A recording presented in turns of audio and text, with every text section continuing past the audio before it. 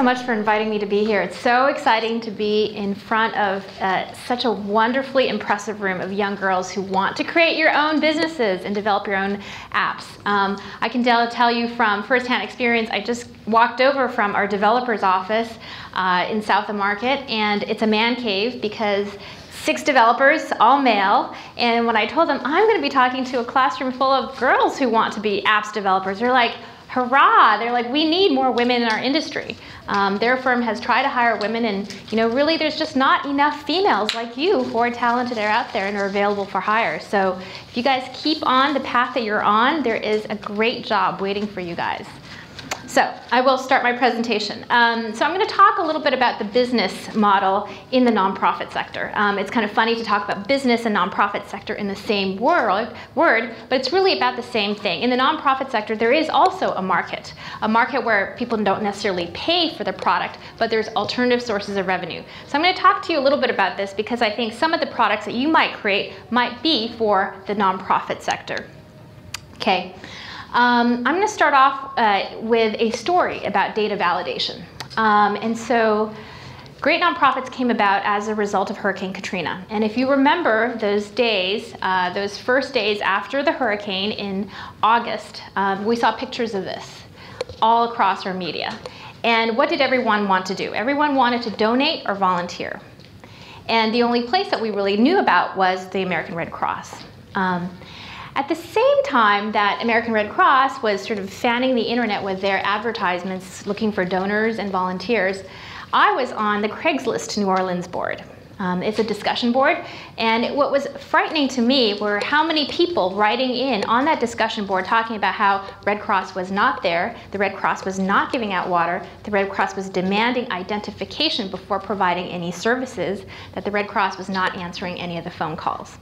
So the discrepancy between what what organizations, in this case the Red Cross, the people heard about and wanted to you know, give money to, versus the ones that were actually on the ground and making a difference, really struck me as a market opportunity. This was the market that I wanted to serve um, through a nonprofit. So my personal story really only, you know, uh, only makes sense looking backwards.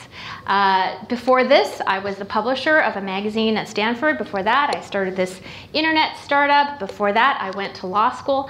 And I think, you know, the lesson that, the only lesson really I have to impart to you guys today, if there is any, um, is that, you know, to some extent, use your intuition and use your uh, your instinct to really follow what you do. And if you really enjoy what you do every step along the way, there's really no failure. You're constantly learning, you're constantly improving.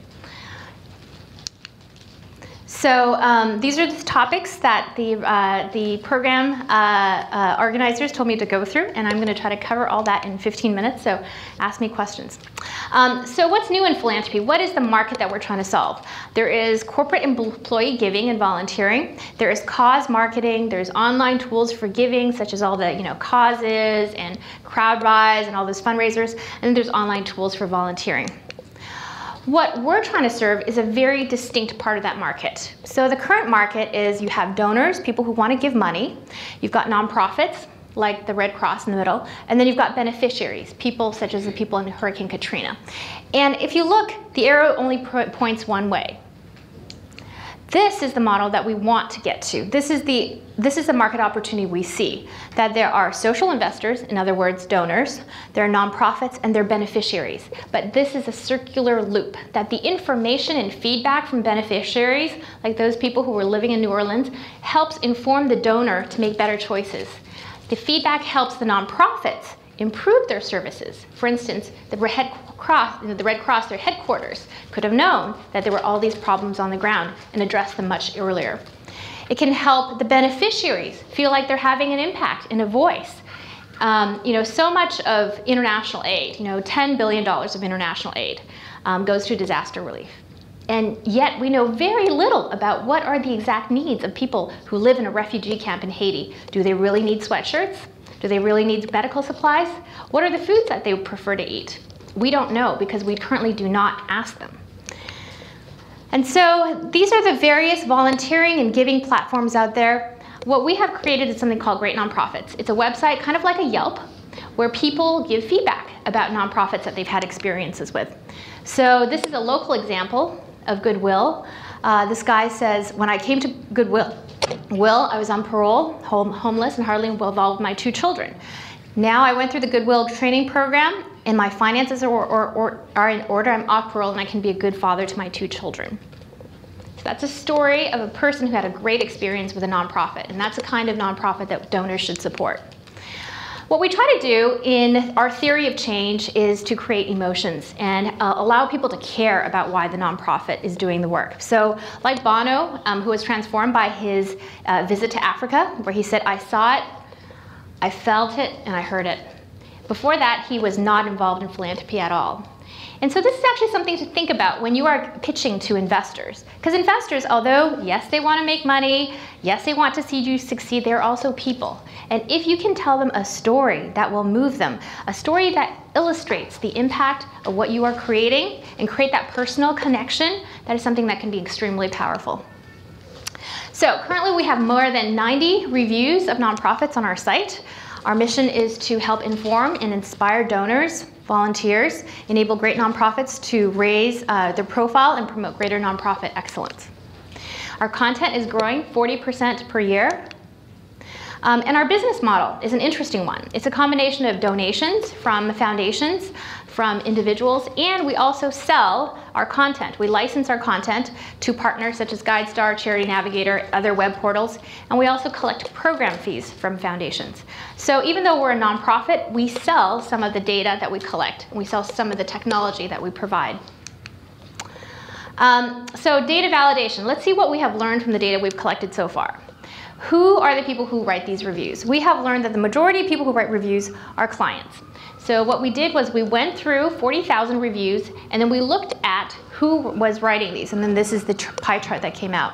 The second largest uh, group of folks are uh, clients who have been served by the nonprofit.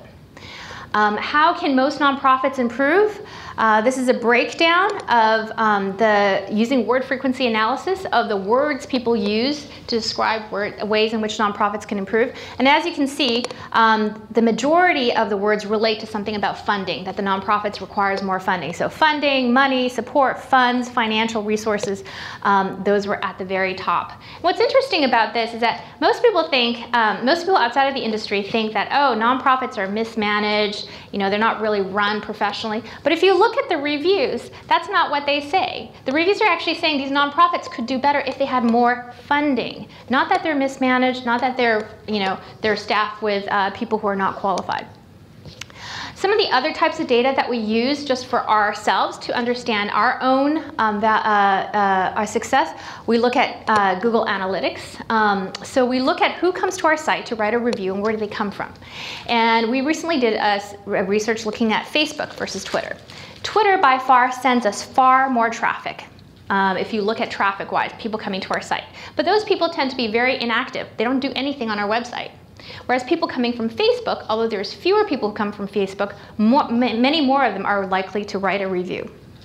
Um, we also use a service called usertesting.com. It's a website where you can tell people to do a series of tasks on your website and they will record it and you can watch people using your website. It's a really great tool for user testing and I would suggest uh, for folks to try it out on their, yourself. It's kind of like having your friends sit next to you and you tell them how to navigate through your app and then you watch them struggle as they try to do it and then it helps you learn how to design your interface better.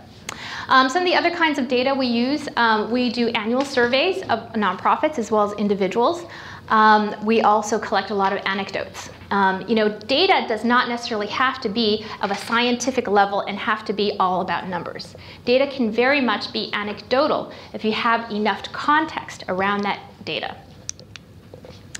Um, how do we pivot? So we are a data-driven social enterprise, and our financial revenues are largely dependent on foundations. And for foundations, what's really important is that we stay true to our mission. And so there are ways that we cannot pivot. For instance, we cannot be sold to a for-profit company. We cannot uh, take advertising revenue um, to a large extent. We cannot sell our lists of our users. Those are ways in which we cannot pivot because of our financial model being supported by a foundation. Um, so what do we do? Well, what we listen to feedback about what's out there that is consistent with our mission, and then we pivot around that trajectory. So for instance, we listen to customer service um, from nonprofits who can tell us, hey, you know, this picture upload, you know, it's okay, but I really need to upload my entire album of photos, not just one photo at a time. So we're working on that right now. Um, we are extremely careful about um, who we promote and their effect on our brand. And so we have had many opportunities to promote, you know, other for-profit companies to work with us, and we have decided not to um, because it's not in line with our mission. And so, you know, for a nonprofit social enterprise, there's a dual bottom line. You've got your social bottom line and you've got your financial bottom line. And, you know, your data that you're trying to validate your business model has to go to both. You have to look at your financial sustainability and see which funders will support me on in this direction. And then you also have to look at your user base and say, what kind of products and services do my users want? In our case, most of our users are nonprofits, and so we have to see what is it that they want from us. I think I went over that, and I think that's the end.